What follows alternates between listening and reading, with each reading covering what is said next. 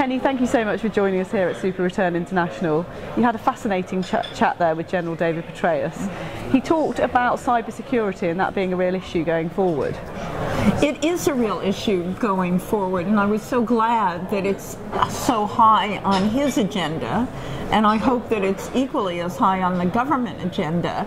And you know, it's such an amorphous kind of threat, but he had some specific recommendations like you need legislation and you need a legal basis to put a perspective on things. So I thought it was very helpful. Do you think his insights are unique because of his past and what he's done in terms of the geopolitical outlook? Um, you know, they have more authority because of his career. You know, in some ways, I wondered if he was too optimistic when he comes to talk about Saudi, which he feels is very stable and they've weathered all the issues around the succession, not only this time, but to the next generation. You know, in other ways, he was fascinating talking about you know, the possible constraints on any cooperation with Iran, say. Is this a unique conference to bring people like that together in, in one place at one time? What does this conference do?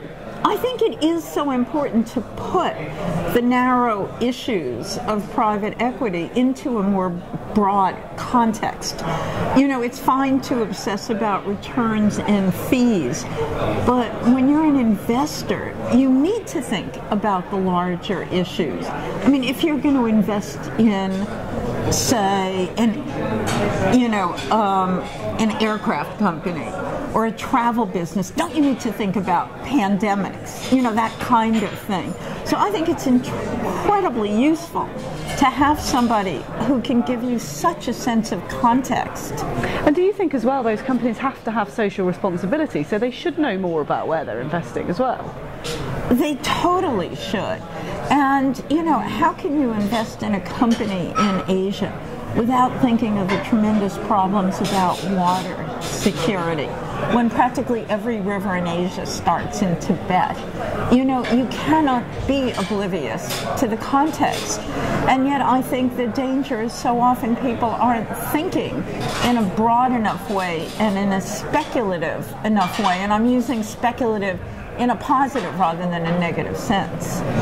You get to talk to so many people here as both a, a, a facilitator on stage but also amongst the crowds here. What do you see as the hot topics and what do they say to you about what's in forefront of their minds at the moment? Well, it depends if you're talking about the narrow issue or the broader issues.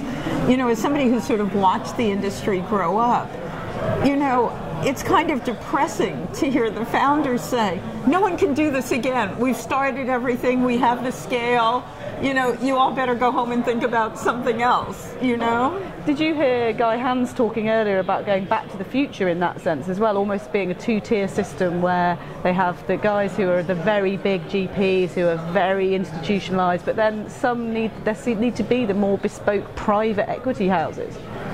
You know, the big firms want to have it all, you know, and you know, now you sit and listening to the earnings calls, and because the big buyouts, the big take private seem to be a thing of the past, their mantra is we're all about growth equity.